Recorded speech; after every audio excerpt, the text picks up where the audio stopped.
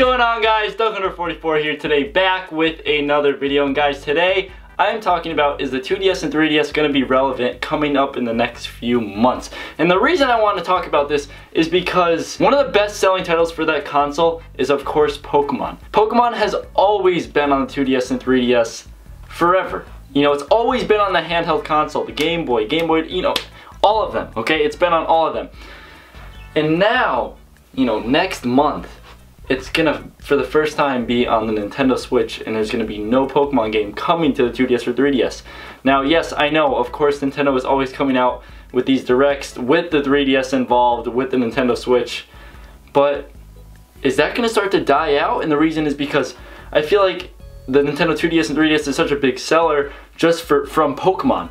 I mean, people buy that console just for Pokemon. So it's like, man, I really think this is gonna start to die out because it's like, and, and personally, I don't want it to die out because I'm a huge fan of that console and I think they should keep a, a mainline Pokemon game also on the 3DS as well because there's a lot of people out there that only have a 3DS and don't have the Nintendo Switch yet that love Pokemon. I mean, they have it for Pokemon, but just seeing this coming to this, like Pokemon coming to the Switch is like, man, how I don't know I don't know what's gonna happen. I, I really don't know what's gonna happen because I feel like Pokemon was such a big seller for the 2DS and 3DS family.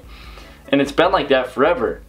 I mean, people legit bought that console just for Pokemon, just to be, be able to play Pokemon. I mean, people, like friends of mine would borrow my consoles just to play Pokemon. For instance, my brother asked me to send him one of my, my consoles just to play Pokemon.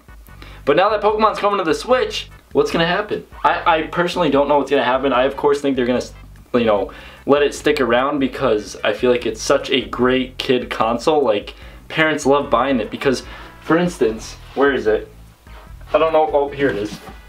This right here, this 2DS is only $80 and it comes with a game. I mean, you can't beat that price. There's nothing on the market that beats that price that can play all of the 3DS games. So it's like, this is such a great console and such a great seller for Nintendo, but how long is it going to hang in there for? Because I personally don't think it's going to be much longer, which is sad to say, especially, like I said before, with Pokemon coming out on the Switch next month. So, I guess time will tell. But personally, I don't think it's going to be around anymore, and I just don't think it's going to be relevant anymore, which is sad to say, but it's the truth. So, let me know if you guys agree with me down below in the comments. Let me know what your thoughts are on this. Do you like the 3DS? Do you still play the 3DS? Because personally, I haven't touched mine in months now.